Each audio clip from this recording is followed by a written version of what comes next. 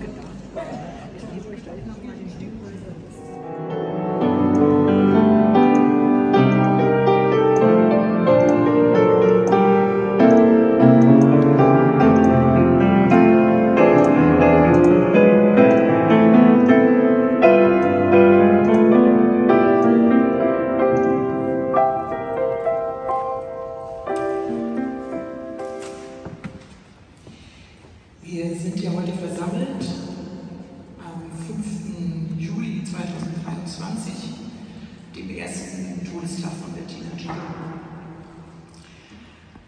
Pfarrerin Almut Bellmann war im letzten Jahr auf Bettinas Beerdigung mit einem Kranz auf dessen Kranzschleife stand letzter Gruß aus Gethsemane und noch auf dem Friedhof selber hat sie mich angesprochen. Annette, manchmal den, weißt du, wie du gesagt hast, manchmal ist das ein Schub zum Tod von Menschen. Lass uns doch mal in Angriff nehmen, worüber wir schon gesprochen hatten vorher. Nämlich eine auffällige Lücke in den historischen Tafeln, die hier sehr ausführlich und gut über die Geschichte der Kirche und über die Geschichte der Oppositionsbewegung in der DDR schildern und zu schließen, nämlich über die Gruppe homosexuelle Selbsthilfe Westen in der Kirche. Und ich bin sehr froh, dass das uns gelungen ist, Albert Bellmann, Marina Duhn und ich auf den sogenannten kurzen Dienstweg diese Tafel zu schaffen. Und ich bin ganz besonders froh, dass du, Marina, dass Dr. Marina Kuhn hier zu uns spricht, die erste Gründerin-Generation dieser Gruppe homosexuelle Selbsthilfelisten in der Kirche, ähm, zu der Bettina auch gehörte. Ganz wesentlich, auch inhaltlich auch theoretisch geprägt worden ist von dir. Und du mit anderen aber dann ja, aus der späteren Sicht ziemlich bald in den Westen gegangen Verhältnisse nicht ertragen haben. Und ähm, ich bin sehr glücklich, dass es uns in den letzten Monaten und Jahren gelungen ist, auch wieder einen Gesprächsrahmen zu finden. Und ich bin noch glücklicher, dass es auch hier an diesem Ort heute wieder möglich ist. Und deshalb freue ich mich jetzt als erstes, Marina, auf deine Worte hier, bevor wir dann später die Tafel tönen. Also wer, wenn es zu leise ist hinten, dann sagt bitte Bescheid. Äh, ja, als ich Anfang der 80er Jahre Bettina auf einer Wohnungsparty im Prenzlauer Berg kennenlernte, waren wir sehr jung. Wir waren Anfang 20 und voller Energie. Entschuldigung. Darf ich, darf ich das gehalten? Ja, okay. Das Mikro ist an. Ja, wir waren sehr jung, wir waren Anfang 20 und wurden bald gemeinsam mit Ramona Dressler zum Gründerinnen-Trio einer Lesbengruppe, die von sich reden machen sollte. 40 Jahre später mussten wir im Juli 2022 Abschied von Bettina Cimelik, krankheitsbedingt viel zu früh.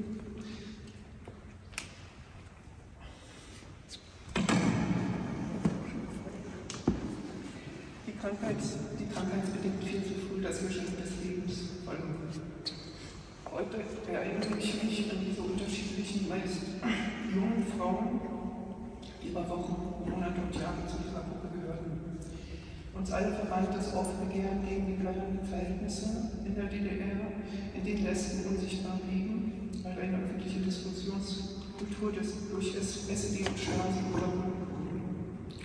So wandten wir uns 1983 auf der Suche nach geschützten Orten an die wurden freundlich in die Gemeinderäume aufgenommen. Hierfür gilt unser großer Dank der Gethsemane-Gemeinde natürlich und der damalige Pastorin Freibischner, die uns begleitete in den ersten Wochen und Frau Pastorin äh, Frau Bellmann, die es ermöglichte, eine Gedenktafel aufzustellen. Ich erinnere mich an viele Abende mit Gabi, Claudia, Bettina, Ramona, und anderen aus dem Verwaltungskreis, an denen wir in unseren Wohnungen zusammensaßen und diskutierten das weitere 14-tägige Programm in der Gemeinde, Lesungen, Vorträge und die Einladung der Gäste oder emanzipatorische Aktionen planen. Ein Abend zur feministischen Theologie gehört ebenso dazu wie unsere Forderung an die Berliner Kriminalpolizei, eine Statistik der Gewaltdelikte gegen Frauen, Schrägstrich Lesben, zu veröffentlichen. Die Antwort lautete, eine solche Statistik gäbe es nicht. Nach dieser Antwort wussten wir, dass wir die richtige Frage gestellt hatten. Klar, feministisch war daher auch unsere Auseinandersetzung mit Frauenbewegungsliteratur, die uns Besucherinnen aus West-Berlin und den Niederlanden mitbrachten. Sie inspirierte unser Denken und Handeln und wir sammelten die Bücher in einer Leihbibliothek, die allen Interessierten offen stand. Jede in dieser Gruppe übernahm Aufgaben in dem Bereich, in dem ihre Begabung lag. Bettina war meist mit ihrer Kamera unterwegs und schoss viele Fotos. Ramona hatte in Potsdam-Hermannswerder ihr Abitur gemacht und kannte die kirchlichen Strukturen. Sie kommunizierte geschickt mit der Gemeinde und hielt für jeden Treffen in den Gemeinderäumen eine kleine Antwort. Gabi und ich verfassten die programmatischen Texte der Gruppe. Marika wusste gut darüber Bescheid, wie die staatlichen Strukturen aufgebaut sind. Unsere spektakulärste Aktion, unsere spektakulärsten Aktionen, weil es waren ja mehrere, waren zweifellos die Ehrungen im früheren Konzentrationslager Ravensbrück, die uns deutlich zeigten, wie brutal die Staatsmachtfähigkeit von Polizisten mit remittenten Testen umgehen. Auch unsere meisten Sommer stattfindenden Ausflüge ins Berliner Umland waren legendär. Hieran beteiligte sich so manche Hetera aus dem Umfeld der Opposition. So manche Liebesbeziehung oder Freundschaft entwickelte sich in dieser freien Atmosphäre. Wir gedenken heute nicht nur dessen in der Kirche, sondern feiern auch Bettinas ersten Todestag. Auch viele der anderen Frauen von damals sind in alle Winde zerstreut. Aber so entfaltet sich Leben vergänglich und in ständiger Veränderung. Ich möchte mit dem Bild des Lichts schließen, das für unser Leben auf der Erde unerlässlich ist und eine unermessliche Kraft besitzt. Schon ein kleines Kerzenlicht kann die Dunkelheit in einem Keller oder einem Staaten sehen. Das Licht der Aufklärung, das wir damals mal entzünden, und die daraus erwachsene Selbstermächtigung von Menschen gegen Bevormundung und Unterdrückung werden weiter leuchten.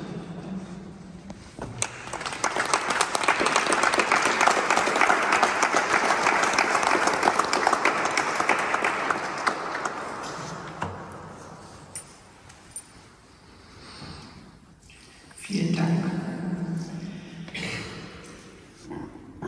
Ähm, mir begegnet immer wieder ein Übersetzungsproblem. Sogar noch letztens in der vorletzten Jahr, glaube ich, sehr gut gemachten Ausstellung über lesbische, transaktivistische Gruppen der letzten DDR-Zeit. Und es ist ein Missverständnis, dass wenn eine Gruppe wie Lesben in der Kirche heißt, dass ihr dann irgendwie Pfarrer oder sowas habt, Kirchenmitglieder seid. Du hast schon angedeutet, dass ihr das sehr wenig wart und sehr froh wart über ein bis zwei Frauen, die das übersetzen konnten in diese Sprache.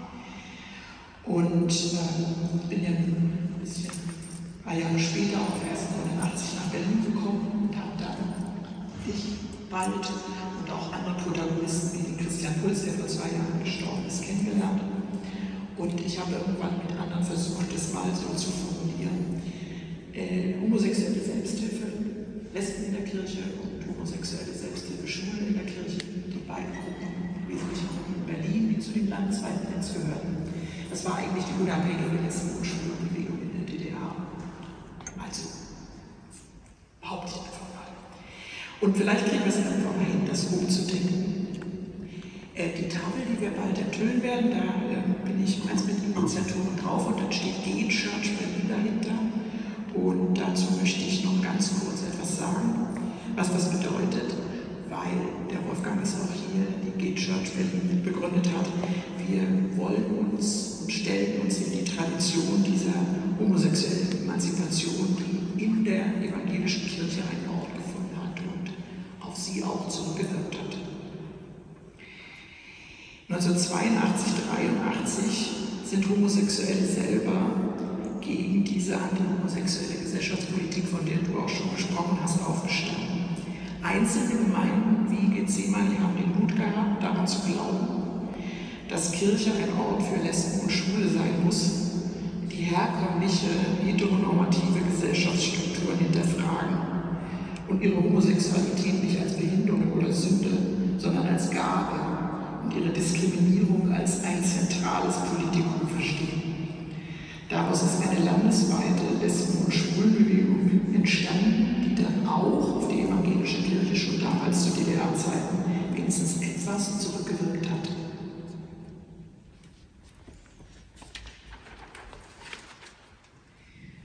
Und ist immer noch nicht richtig verankert und auch in der Forschung überhaupt gar nicht herausgearbeitet, dass diese landesweite Lesben- und Schwulenbewegung integraler, zentraler Bestandteil der Friedens- und Menschenrechtsbewegung in der DDR war. Auch Diskriminierung wirkt da meiner Meinung nach hart fort.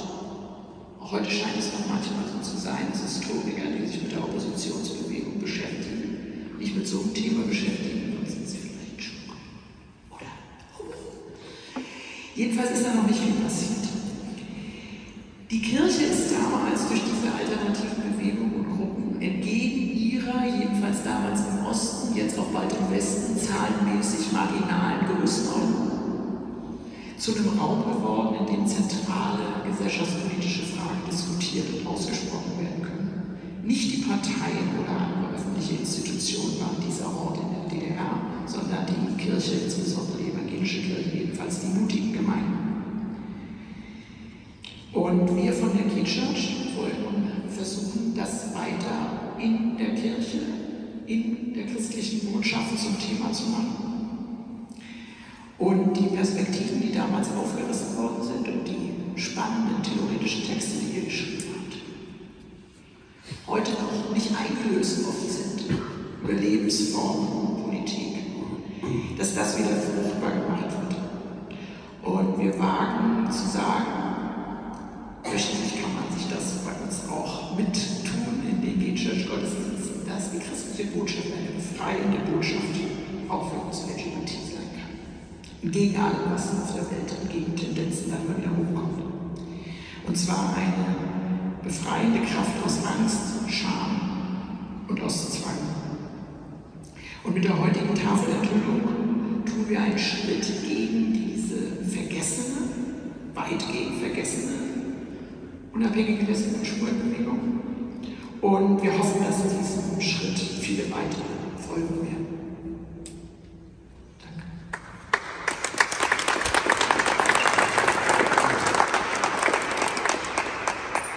Ein Ort für gesellschaftspolitische Auseinandersetzung aus der Perspektive des Christentums ist die Gethsemane-Kirche auch noch heute.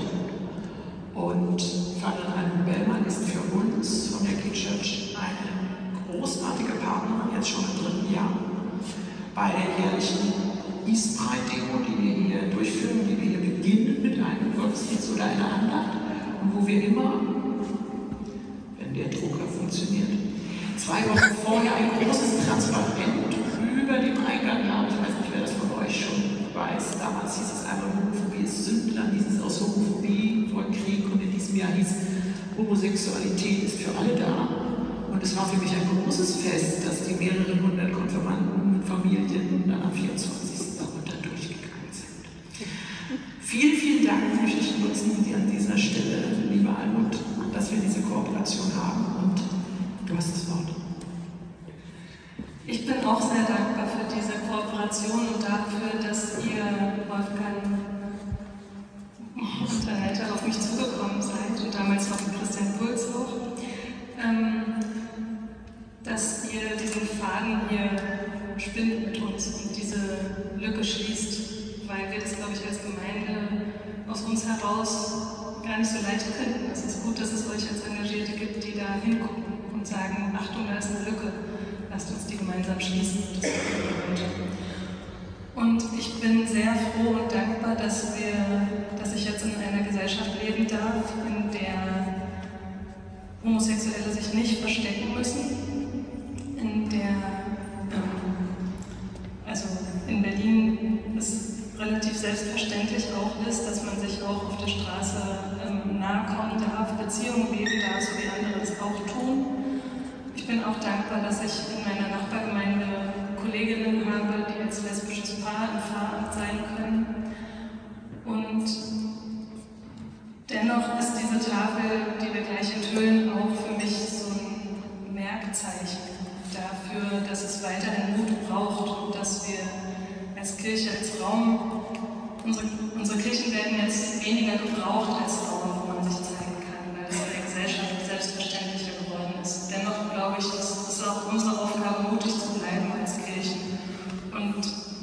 wach zu bleiben, ähm, weil es auch selbst in unserem Land nicht selbstverständlich ist, leider, sondern auch hier gibt es Geschichten, die es eigentlich nicht geben sollte. Zum Beispiel wurde vor kurzem in Spremberg in der Gemeinde ein Abend abgehalten, wo ein Film gezeigt wurde über ein lesbisches Paar in Ravensbrück, die dort gemeinsam überlebt haben und nach dieser Zeit auch weiter zusammengelebt haben in ihrer Beziehung. Und dieser Film wurde gezeigt und aus diesem Anlass wurde vom Kirchturm eine Regenbogenflagge gehisst. Tolles Symbol, sehr strahlkräftig. Und in der Nacht noch, nach der Veranstaltung, da wurde ein Anschlag auf die Kirche verübt und es wurde ein Molotow-Cocktail auf den Kirchturm geworfen. Und das ist schon sehr erschreckend, dass das immer noch möglich ist oder wieder.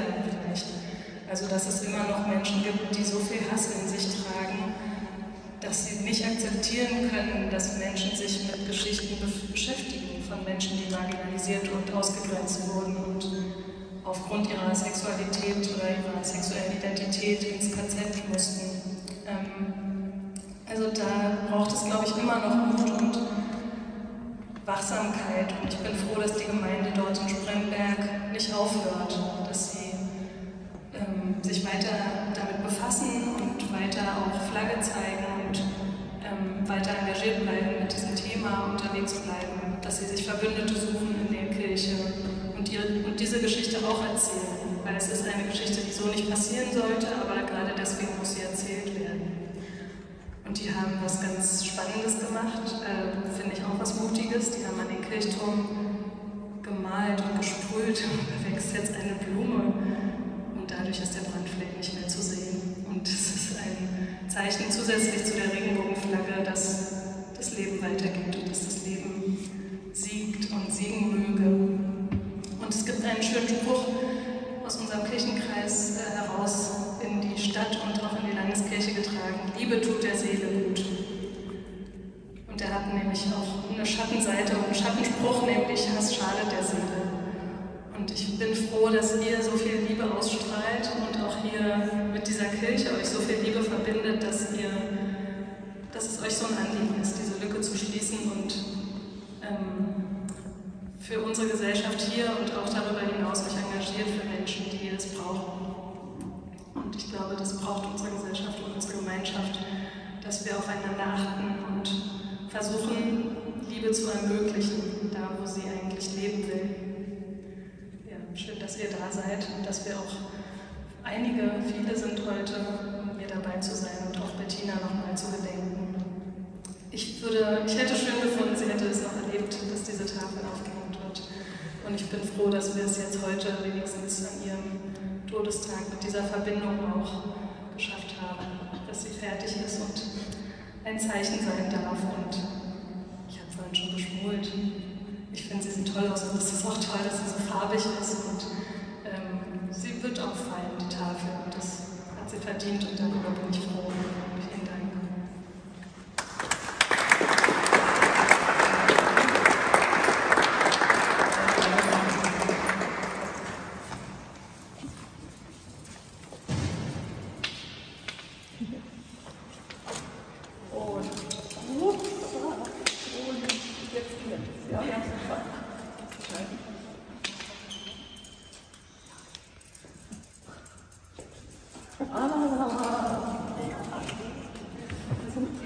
Hast du jetzt verklemmt? ja, so ist es. Ich weiß nicht, wo es da hängt. Wie ist das da hängt? Das ist ein kleiner Fall, der hängt sich davon. Wir machen es so. Wir machen es so.